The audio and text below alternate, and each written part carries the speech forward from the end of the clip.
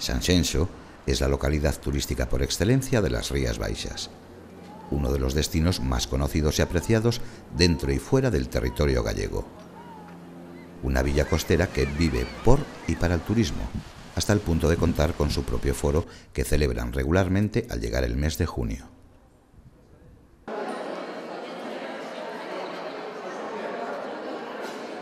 En él se dan cita las voces más autorizadas del ocio, la hostelería, la gastronomía, la alta dirección o el marketing. Durante tres días, los profesionales del sector debaten, reflexionan y comparten información y estrategias. El turismo lo es todo en San Sencho. En estos momentos es el mayor sector, el que más importancia tiene y para nosotros es fundamental celebrar foros de estas características, ¿no? donde poner encima de la mesa, yo creo que los foros a veces pecan un poco de, de, darse jabón eh, unos sectores a otros o de, tratar de temas que no tienen demasiada importancia real para el sector. ¿no?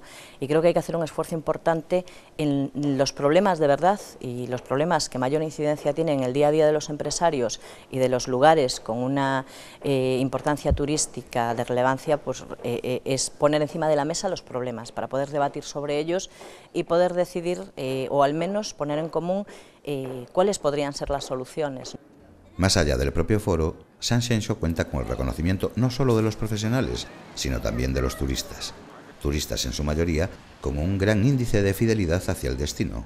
La fuerza de San Xenxo es tener un sector muy potente, tener un potencial, eh, San Xenxo está en un enclave maravilloso, rodeado por dos rías, la ría de Pontevedra y la ría de Arousa, muy distintas entre sí, pero con una belleza inigualable cada una de ellas, por un lado tenemos en la ría de Pontevedra pues 25 maravillosos arenales, que como sabéis pues en este año contamos con 14 banderas azules en los arenales, y en la ría de Arosa tenemos un potencial medioambiental impresionante, ¿no? con una parte muy importante de Red Natura, estamos en el área de influencia del Parquillas Atlánticas, eh, todo eso eh, hace de San Senxo eh, bueno, pues un, ¿qué voy a decir yo? Un paraíso, ¿no? Un lugar especial dentro de Galicia y sin duda alguna uno de los lugares más importantes dentro de Rías Baixas y de obligada visita para todas las personas que se acercan a nuestra provincia.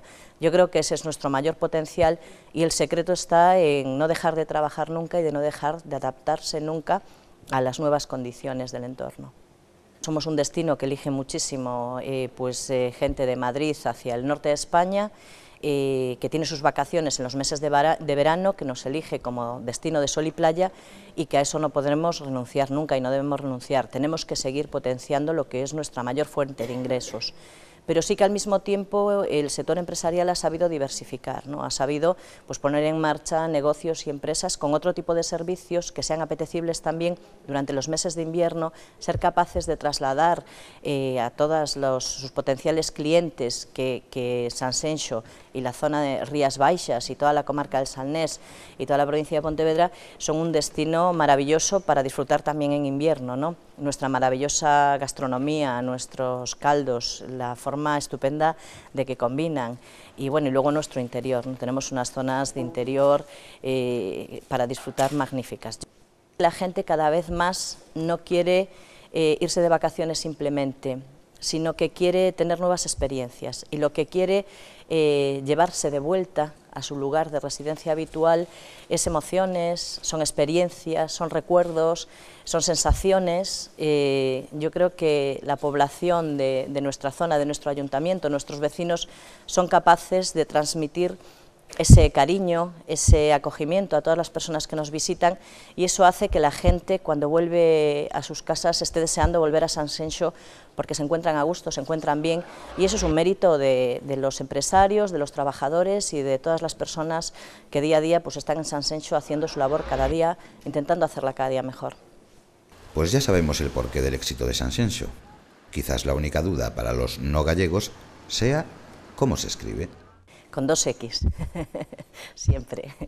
Incluso para los de Madrid. Yo a los de Madrid le diría que Sanjenjo con dos X.